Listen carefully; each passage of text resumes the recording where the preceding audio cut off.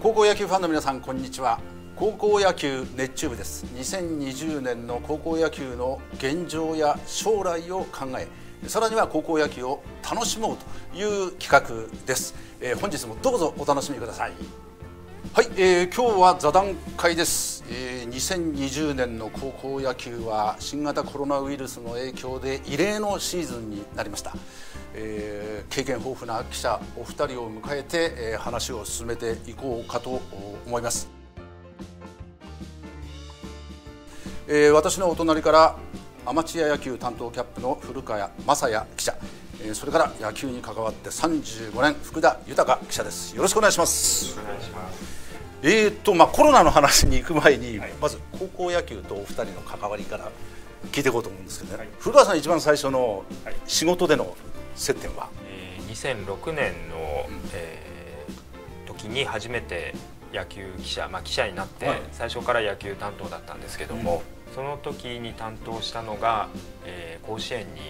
で西東京のあの斉藤佑樹投手ですね、はい。はい。まあ、右も左もわからない記者1年目で甲子園取材に行きましてであれよあれよと勝っていきであのまだ最初の頃はハンカチ王子って名前が出てなかったと思うんですね。ただ1試合目2試合目勝ったぐらいからだんだんこうワイドショーなんかでも騒がれ始めてで、まあ、確かに彼選抜でも出てたんで注目はされてたとは思うんですけど何と言いますかこうやってこう甲子園ヒーローっていうのは生まれていくんだなっていう過程をこうなんか見られた機会だったなと思ってます。ハンカチですもんねね。タオルハンカチみたいなやつね。すごい そうそうそう斬新でしたけどね。あんなものいや私もね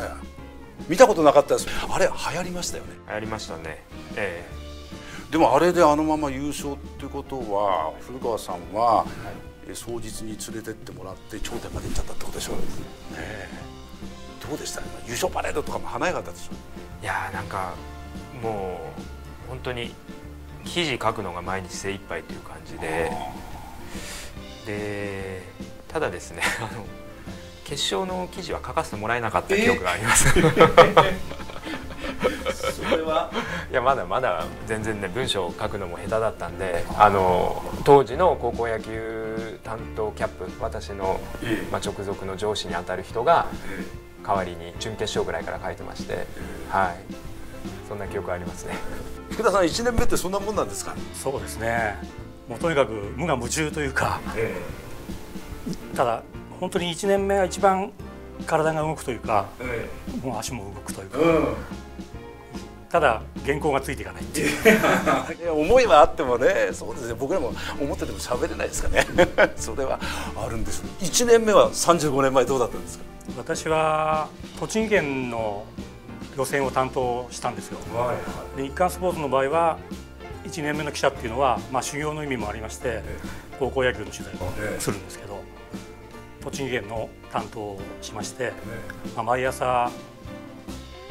6時ぐらいの新幹線に乗って日帰りでしたね。当時はまだ写真が持ち帰りだったんですよね。東京から。はい。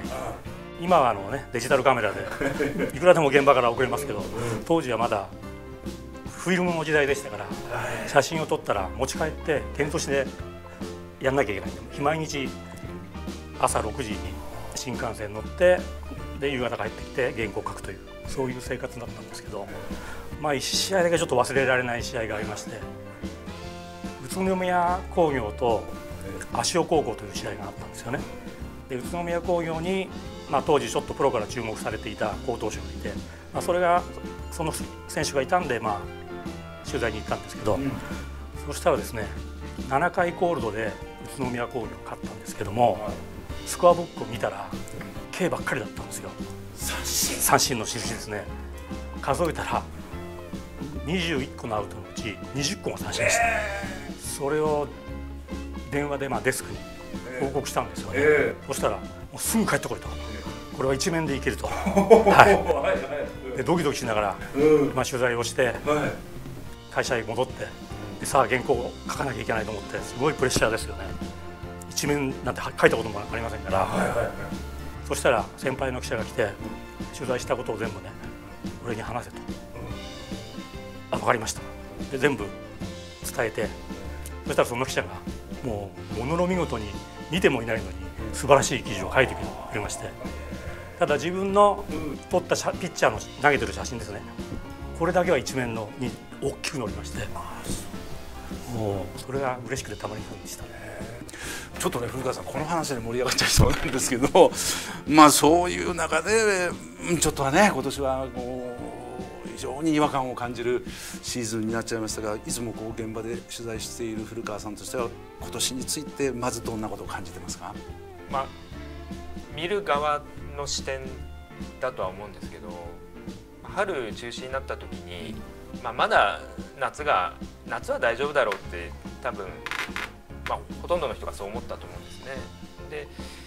夏までまさか中止になってしまって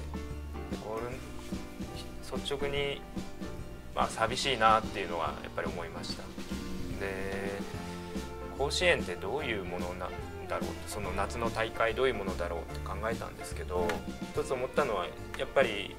まあ、私もあの田舎から上京してきたんで思ったんですけど甲子園期間中ってどうしても自分の出身校出身の県の学校にやっぱり目がいっちゃうと思うんですね。で、まあ、そんなに一生懸命その大会見てなくても、あ自分の学校そこの県の学校が勝った負けたそういうのはやっぱ気になってる人が多いんじゃないかなと思うんでそういうふるさとを思い出す時間が今年の夏はなくなってしまうんだなってっていうのはちょっと感じました。なるほどね。まあ確かにおっしゃるようにやっぱり選抜の時は大変残念ではあったけどっていう感覚がねあってだからあの大会に出場してくれるチームはかわいそうだけどいや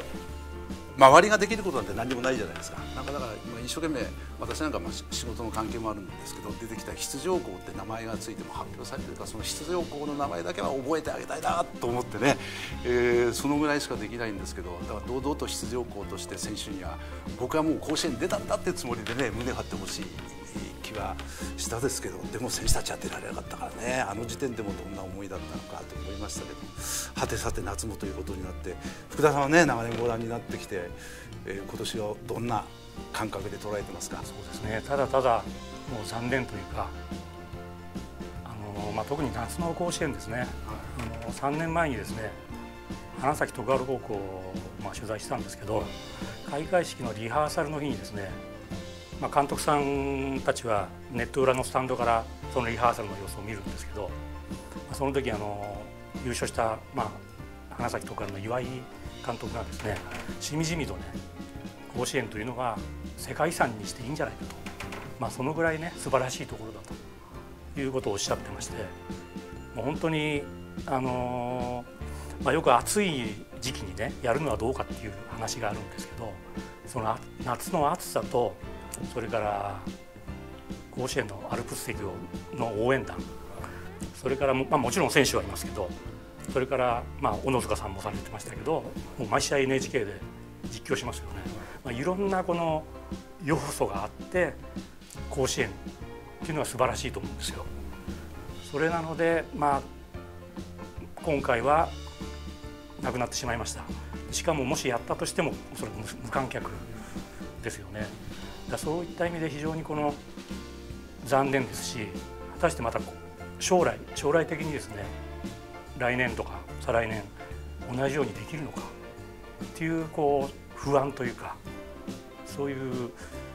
寂しさって何たらいいんですかね。複雑な思いですね。中止の情報があった後にに発表されたのが20日でその翌日の紙面ですね。はい、はい5月20日の発表ということですね、はいはい、そうですね、これ以降の選手たちの受け止めっていうのはどうでした、えーまあ様々ですね、あのー、例えばある選手なんかはもう切り替えましたと。なぜならそうしないともう前には進めないからって言って大体大会に向けてもう一生懸命練習してるっていう3年生もいましたしでもあるいは正直まだ受け止められませんっていうようなことをちょっという3年生もいます。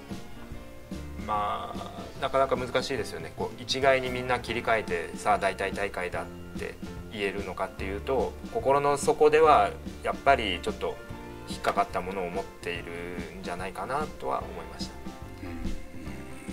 ですか。選手の練習している状況なんかどうだったんですか？ややはり様変わりしてましたか？その時点は。練習自体はね始まればもう野球なんでグラウンド出ればみんな一生懸命いつも通りやってるとは思うんですけども声も普通通り出てますしただある監督さんがポッとそのふとした時にやっぱちょっと3年生なんか気が緩んじゃってる抜けてるように感じる時があると。じゃあそういう時にじゃあどうするんですかって聞くとあの、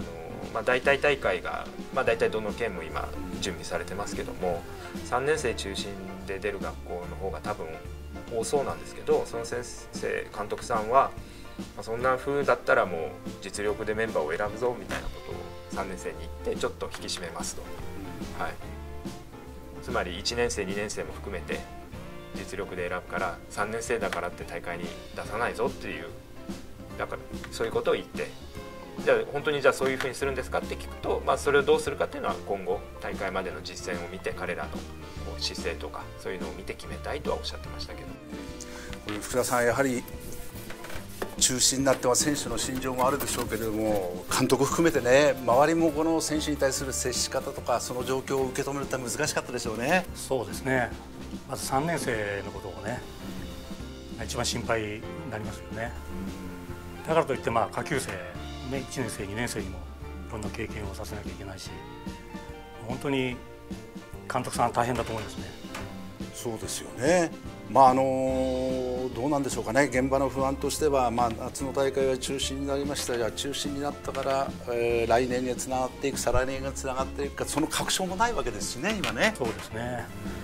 まあ、秋の大会ももうすぐ控えてますしただ秋の大会でさえどうなるかっていうのもまだはっきり分かりませんよね。まあ、そういう中で運営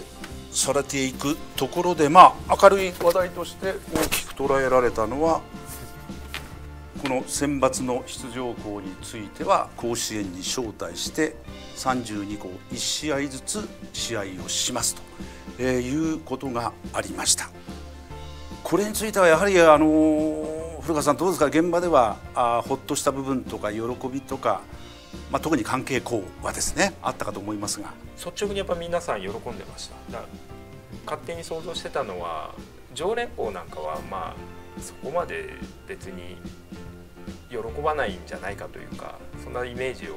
想像してたんですけどでもそうじゃないというか、まあ、直接取材してないところもあるので分かりませんがやっぱり甲子園で1試合でもやれるっていうことになって皆さんなんかこう素直に喜ばれてるなっていう印象を受けました。これはでも福田さんここまでね行き着くのには大変だったでしょうね。そうですねでも本当に良かったですよね。高野連の方が本当に考えてくださってあとまあその47都道府県の大体大会ですかこれも、まあ、最初福岡県がちょっとやらないっていう発表があったんですけど結局やることになりましてほぼ全国で大体大会が行われるということで本当に良かったと思います。まあ、各1試合ずつやってこれどうなんですかどういう形であの私たち見られるか分かりませんけれどもね。福田さんも長年見てこられたけどきっとその試合を何らかの形で見たら目に入ってくるものっていつもと違うでしょうね。どんなことを感じてそれ見るんだろうなっても自分でもちょっと不思議な感覚で待ってんですけどね。もうどうやってそこをしようかなと思ってますねねえ。まああのいつもだったらどのチームが強いのかなとかえー、どの選手が素晴らしいんだろうかなっていう形で見ますけどまたこう違う感覚でね全国の方も見るんじゃないのかなって気がしますけれども。